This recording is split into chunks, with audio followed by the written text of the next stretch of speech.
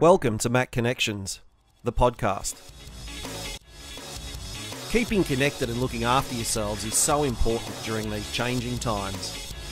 We trust the following conversation will provide some helpful guidance. We want to be able to provide all the support we can. Our patron, St Mary of the Cross MacKillop, wrote in 1875 May God bless and keep you and give you courage. We acknowledge the traditional owners of the land on which this podcast is recorded. We pay our respects to their elders, past and present, and to the Aboriginal elders emerging. Episode 24 Transition into Year 7. Here is your host, Director of Wellbeing, Mr. Andrew Exton. Welcome to the MacK Connections podcast. Over the next year or so, we plan to do a number of podcasts for our year seven, year eight, and year nine parents and students, exploring some of the topics that are relevant to them. We're going to have Joe Parker with us from Heartsparks. Joe is a life coach. She's worked at MacKillop around wellbeing programs and has got a broad range of expertise in terms of working with young people of all ages around some of the topics that we're going to discuss today. Today's podcast is going to be about transition and specifically looking at the transition for our year six students moving into year seven in 2021. We know that by the time parents have listened to this podcast, their children have experienced their first day of MacKillop in terms of an orientation day that will take place on Thursday of the coming week.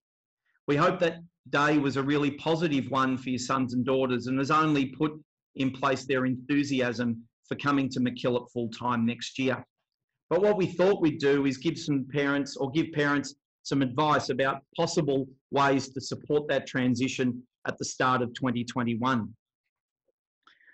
Joe, thank you so much for coming on board. I'm going to start our little discussion by reading a short paragraph from the book Starting Secondary School by Michael Carr Gregg and Sharon Witt, which I think really encompasses or everything about transition. The experience of secondary school is different for everyone. Your son and daughter is made up of 23 chromosomes from you and 23 from the person that you made them with. Throw in the genetic roll of the dice, the environment and upbringing, and get a personality, disposition, and a temperament that is unique to your year seven student that is not a carbon copy of yours. As a result of this magical mix from some very few, the transition to secondary school will be a breeze. We know that it can be quite a bit not like that for some students. But we do know successful students have the following characteristics impressive social skills, easy temperament, at least average intelligence, attachment to family, independence, and good problem solving. But for most teens, the transition takes adjustment. As they move into year seven, your child will have a lot to handle in a short space of time. Is it fun? Not all the time. Can it be fulfilling? Absolutely. The great news is that surviving and thriving in secondary school years is possible. Parents need to remember the golden rule in psychology. If you cannot change something, you can always change the way you think about it. So, with that, Joe, I'm wondering for parents, how important is the mindset of being positive and almost thinking that year seven is a fresh start to support their sons and daughters in the transition to year seven next year? Mm, this is a great question to open the conversation up, and thank you for having me, Andrew. I think that when it comes to being positive, it's deeply important because it gives young people that sense of curiosity and opportunity and hope for good things coming their way. And the way that I liken positive thinking is like as adults when we're thinking about buying a car, we might have never seen a Mazda 3 out in the community before, but guaranteed the second that we decide that that's a car we're interested in purchasing, we'll step out and start seeing them pop up everywhere. Likewise, with young people, if we're speaking and offering them opportunities to see something positively or in a helpful way, they're going to be more likely to be paying attention not just to what we say, but stepping out into the world looking for positive things.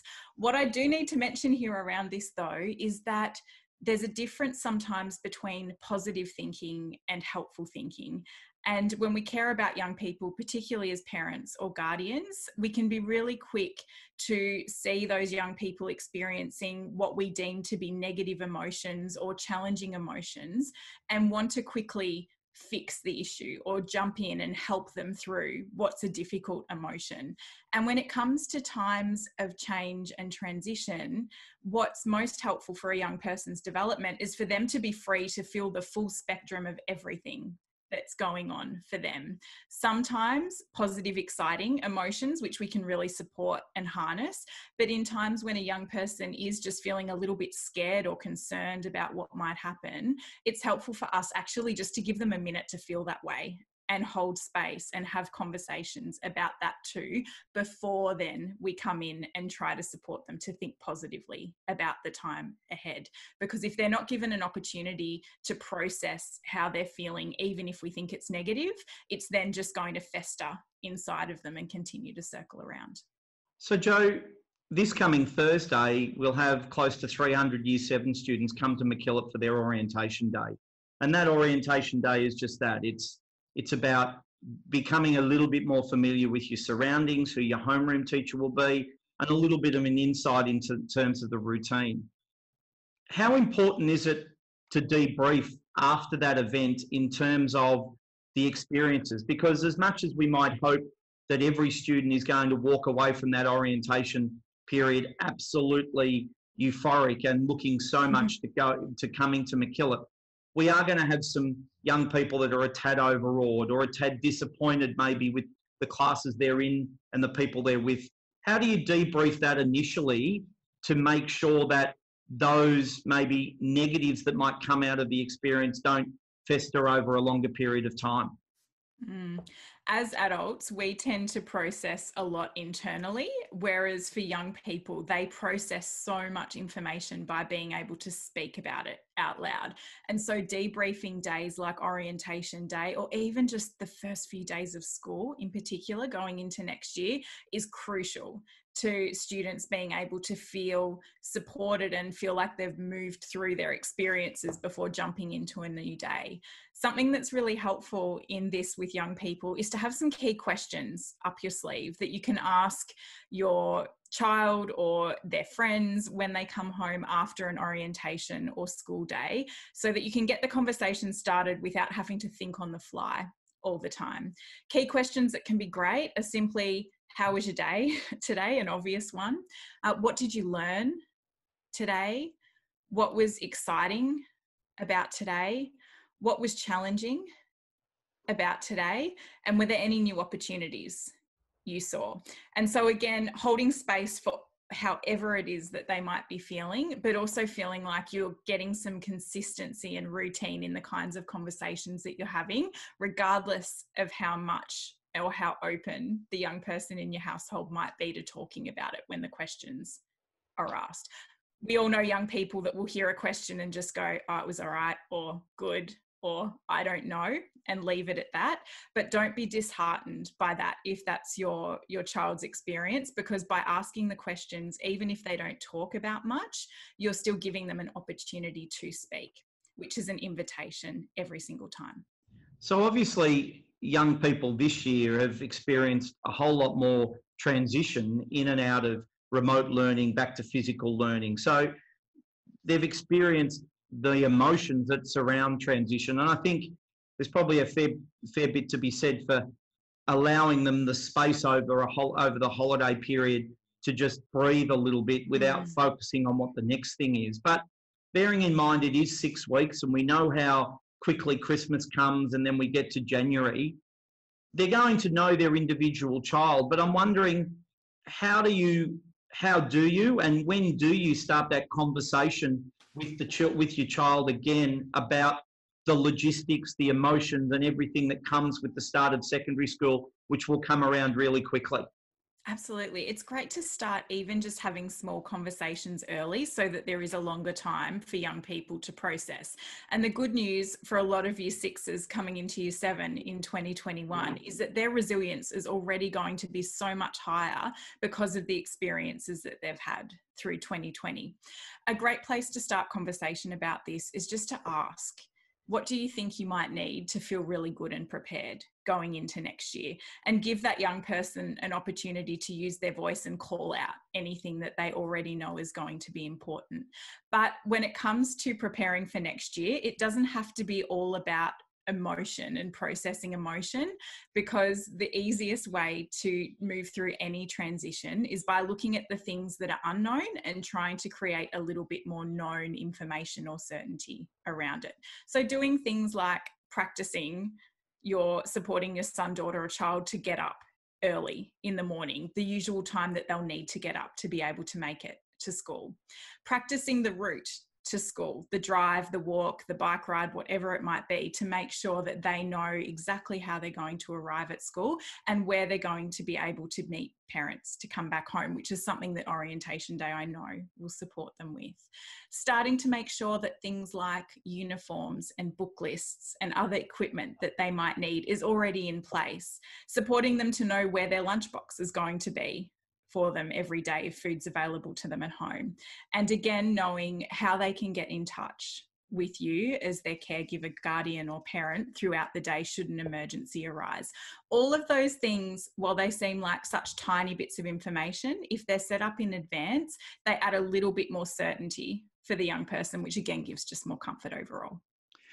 Joe, it also seems to me that parents have got a bit of a tightrope to walk here in terms of their communication with the school. It seems to me that while while students or young people are in primary school, they're happy for their parents to be actively involved and happy to participate. But all of a sudden, when they get to secondary school, you see it when the students will arrive on Thursday or on their first day. Some parents want to come in and walk with their kids. Some kids are pushing them away, saying, "No, I'm okay." For parents who who want to navigate this, how important is communication with the school, communication with the homeroom teacher, interacting with the school around the processes, the structure, and just providing information and support. And how do parents navigate that sense of wanting to allow their children to have independence and start, you know, being a big kid, so to speak, but also wanting to make sure that they're connected with the people within school that they're going to be working with for that next 12 month period? Mm, this is such a great question, and it's a tightrope for sure. All parents do the best that they can, and guaranteed we're all going to get it wrong. in the in the eyes of our kids sometimes. And so just starting to have conversations is the best possible thing. When it comes to the school they are lifelines for parents and caregivers. And so if ever you're wanting to know something or you have a question and you're not sure whether or not it's appropriate to ask the school about it the best thing to do is just to reach out and have the conversation. It can be hard to know where that line starts but the same way as your child child or the young person living with you is building a relationship with the school, you are too as parents and guardians. And so please don't hold back in that communication because the school is also there. And I know I know MacKillop is to support parents to access information that's relevant in a way that they want to receive it as well. Reaching out to year level coordinators, homeroom teachers, getting to know who they are so you feel comfortable to have conversations with them when you need. And again, if ever there's information that you want that you feel like isn't readily available, through your child, I know that the staff at MacKillop are going to be really supporting in letting you know whether it's something that they think you need to know or not, and ensuring that you get access to that information however you can. Having said that, though, there's also that balance in the relationship between communication and trust. And so, as a parent, as much as our child is feeling really unknown about a transition into school, we can feel quite unknown as well and feel that uncertainty for ourselves. And so, in much the same way as we're encouraging the young people in our communities to be really brave and courageous and be a little bit vulnerable in not having all of the information all of the time, it's also an invitation for parents and guardians to have faith and trust in the school that they've chosen as well and know that the school is going to be showing up however they can to support young people through the transition too. And Joe, strategies for parents not for for for them to make sure that they're not passing their anxiety on to their children because I think having been through this myself four times, it's mm. it's never easier the next time or the next time or the next time. It's exactly the same. but that balance between the hope and the and the wish that you have for them to have such a positive start, but your anxiety around it being different. How do we make sure that we're not almost by osmosis making our mm. sons and daughters anxious or worried just because we are? Mm. There are three really great strategies that I'd recommend for all parents and guardians around this. The first one is to find other parents and guardians to connect with. And if you can, buddy up with another parent or get to know other parents in the school community so that you can share your experiences and also have a place to have how you're feeling mirrored back to you. It can sometimes feel, I know, for parents like you're the only ones experiencing the anxiety that you have, but guaranteed the parent standing next to you on orientation day or any other is going to be feeling exactly the same way as you are. So, being really vulnerable in trying to use your voice and open up conversations with other parents so that you can support each other through the transition, making sure you're talking about it is number one. Number two is a bit of a mindset hack. And I'd encourage everyone to make a list of all of the things that you're worried about. Just list them all out on paper or in your phone or on the computer, and then go through looking at each thing independently on that list and decide is this something that I can control completely, that I can influence in some way? Or that is just something I'm worried about that I have no say over whatsoever. Because we can waste a lot of energy and emotion getting worried about the things that we can't control. But if we're able to focus in on the things on that list that you have control over or that you can influence, we can then start to direct our attention to those places and start to feel like what we're doing and how we're showing up is more purposeful. So, recognizing sometimes that there are things we just need to try and support ourselves to let go of. And then also, finally, making sure that before you go into conversations with the young person in your household about how their day was or what happened at school, that you know within yourself what the purpose of that conversation is. Is it a conversation that's there to support the young person, or is it a conversation that's there to make you feel better? and if it's about making you feel better, just making sure that you have a lot of other self care strategies around you as well, so that if your son or daughter decides not to have a conversation with you or isn't as forthcoming with how their day is as what you'd like for them to be, that's not the make or break about whether you get to feel okay as well. It's new for everyone and it's going to take some time, and that's okay.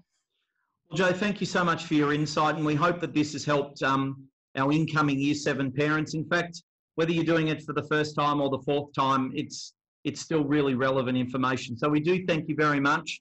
This will be the first of a number of podcasts that we hope to do throughout 2021 for all our parents and our students from Year Seven through to Year Nine at MacKillop.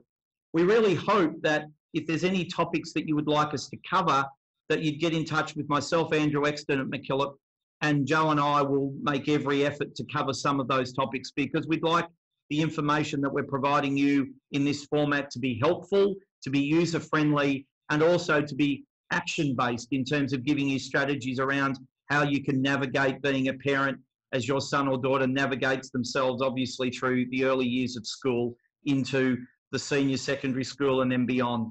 Joe, thanks very much for coming on board, and we're really looking forward to doing these for our parents. We've done them throughout the um, remote learning period with uh, good feedback, and we'd like to hope that this is just another way of giving our parents and students, indeed, information that supports them on their journey through MacKillop College. Thank you very much.